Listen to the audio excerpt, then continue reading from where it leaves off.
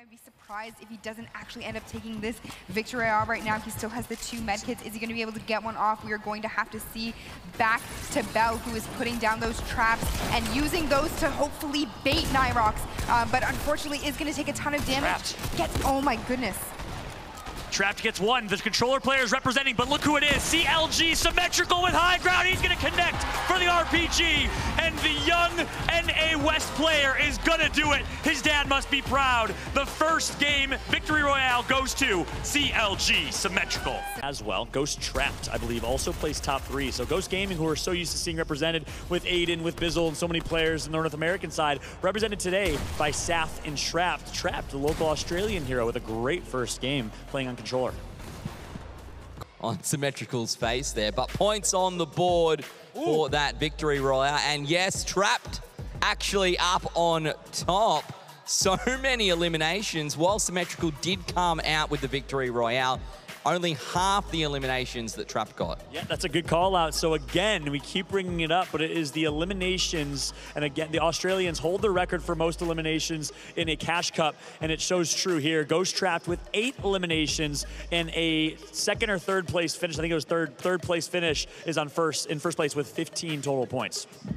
Yeah, those elimination points coming through real good there for Trapped and Lord. So let's uh, now break down some of our top eliminations from the first uh, first match. We'll see who's sitting up there on top in terms of uh, materials. There you go, structure damage, damage taken, and damage dealt. And you can see Trapped up there on top.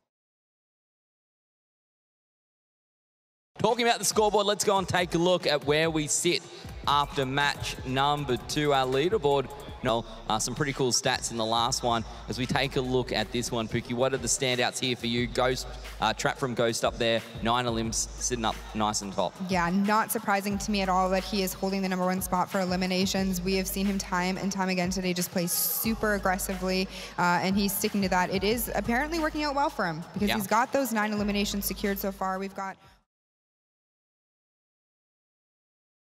There's that intelligence and that gameplay knowledge to play out better for you. Ashes, like I said, going aggressively from one fight straight into another. Box is up next to him, editing the right-hand peak, trying to find his way in. But oh. never mind, Trap comes out. That was controller on controller. Trap takes down Ashes. They're going at each other now, though. Maybe if they take each other out, it'll save the rest of them. Yeah, Peekaboo says trapped right there. Ashes was not expecting it. And again, that's been a key theme of this entire match. We've seen a lot of fights where players are doing some unexpected edits and playing with aggression where players maybe not expecting them to do so. And a lot of it is our controller players here today who've been performing. Professionals doing that one, so let's go and take a look at our scoreboard and where we sit after match number three. Nyhrox up on top, 11 elim points, 15 placement points, 26 overall. So we take a look through the top 20. Any standouts for you, Pookie? Well, what I'd like just to mention is the top four there. Very tight spread, only four Yeah. points there between Nyhrox, Symmetrical, Trapped, and Brezo. So it's anyone's game there. But again,